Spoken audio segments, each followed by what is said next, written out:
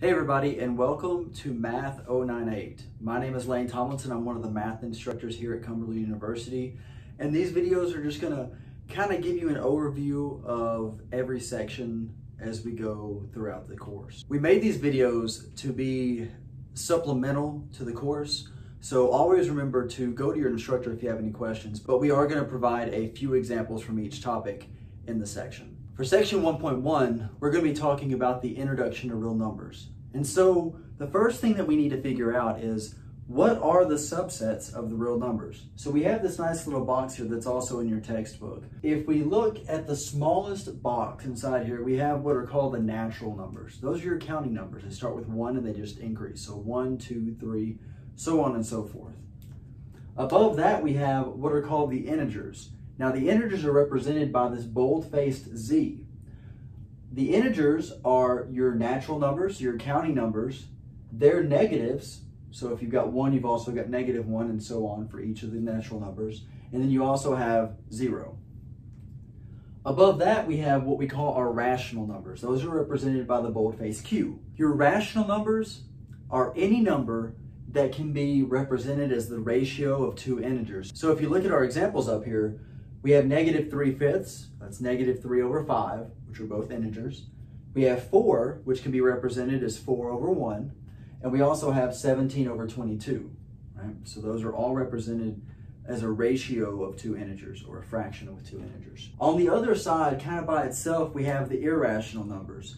Now, these are numbers that cannot be represented as a ratio of two integers. Another way you can tell the difference between the two, if you make a rational number into a decimal, it's either going to stop or it's going to repeat, right? So if you think a negative 3 fifths, if we put that in decimal form, that would be negative 0.6. If we think of the number 1 third, we write that as a decimal, it would be 0.333 with that 3 repeating into infinity. For the irrational numbers, if you turn those into decimals, they do not terminate and they do not repeat. So uh, pi is a good example of that. The square root of 2 because it's not a perfect square.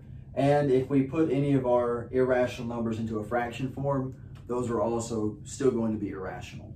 All of these numbers that we've talked about so far are part of the real number system. So the real numbers include all of these. And that's what we're going to be working with throughout this course. So let's do an example. Let's classify some numbers and figure out what sets they are in. One thing that we want to point out is if it is a natural number, that means it's also going to be an integer, a rational number, and a real number. So whenever we're classifying these, we want to find the smallest subset that it fits into, and then we're going to list everything on top of that. So let's start off with negative 9. So if we look at negative 9, the smallest one that that's going to fit in is the integers, right? It's not a natural number because it's negative but it is an integer. So that means it's going to be an integer, a rational number, and a real number. And that's our answer. We look at the square root of 4. Now this one's a little bit tricky because can we simplify the square root of 4? We can. The square root of 4 is equal to 2. So when you see 2, we know that that is a natural number. It's actually listed here as one of our examples. So this is a natural, it's an integer, it's a rational, and it's a real. We have one more example, and that's pi over 3. Now, as we mentioned earlier on, pi is irrational. Since pi is irrational, even if it's in fraction form, it's still going to be considered an irrational number. So this is the smallest subset that it can go in. So this one is irrational and real. That's our answer.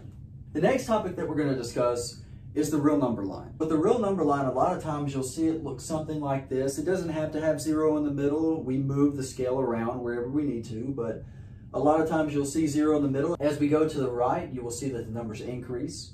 As we go to the left, we see that the numbers decrease, so they become more negative. And so we need to be able to plot numbers on this number line. It's really easy if we ask to plot negative 3. You would just put a closed circle right there on the tick mark above negative 3. But what if we ask you to plot a fraction, like 9 fourths? Well, that's going to take a little bit of extra work. There are a couple of different ways to solve this. You can try to find the two integers that it's between by um, looking for your multiples of 4. What I like to do, though, is I say, how many times does 4 go into 9? 4 goes into 9 two times with some left over, right? So it's going to be 2 times with one fourth left over. We divide that. And so we know that it's going to be in between 2 and 3 because of this, because you got 2 and some change. So we're going to do 2, and we're going to plot our dot right there. All right, and that's how we plot fractions. And this also works on the negative side. You just have to remember to put it uh, between negative 2 and negative 3 if it was something like negative 9 fourths. Finally, we're going to talk about absolute value. Absolute value is the distance from any number to zero. So when we think about distance, it's always going to be positive. We want positive numbers when it comes to distance. So if we put this in symbols, we have these two straight lines that surround our value. And that's how we denote absolute value.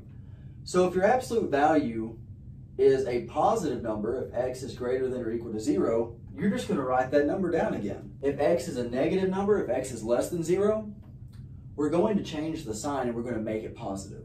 All right, so let's do a couple of examples. Example A here says the absolute value of negative 42. Well, like we said, it's the distance from negative 42 to zero, so that's going to be a positive 42. B's got a little bit of extra work to it though. You see, we got a negative on the outside and a negative on the inside. The absolute value only affects the negative that's on the inside. So this negative on the outside is just to hang around and then we're going to work this problem out. So the absolute value of negative 70 is positive 70, but our final answer is negative 70. Finally, we have a fraction. The absolute value of negative 9 seventeenths. The same principle applies even if it's a fraction. So this is going to be positive 9 seventeenths. All right, that's it for section 1.1. If you have any questions, remember to reach out to your instructor and keep on keeping on.